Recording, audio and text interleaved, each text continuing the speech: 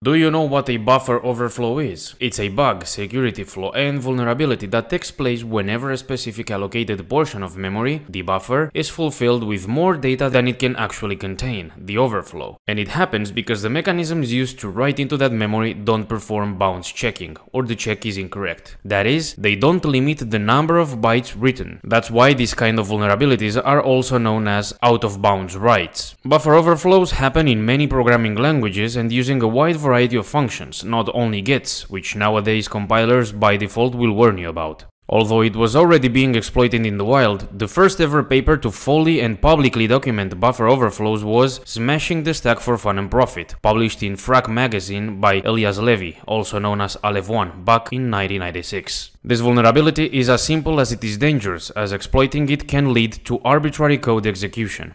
In fact, if you do a simple search in CVE, Common Vulnerabilities and Exposures, you will notice there are hundreds of BOF reports every year. Also, the CWE, Common Weakness Enumeration, has a particular class of software weakness called Improper Restriction of Operations within the bounds of a memory buffer, and within it there are several manifestations of both buffer under and overflows. Luckily for us, nowadays there are hundreds, even thousands of online resources to know more about buffer overflows. So now you know the answer next time somebody asks.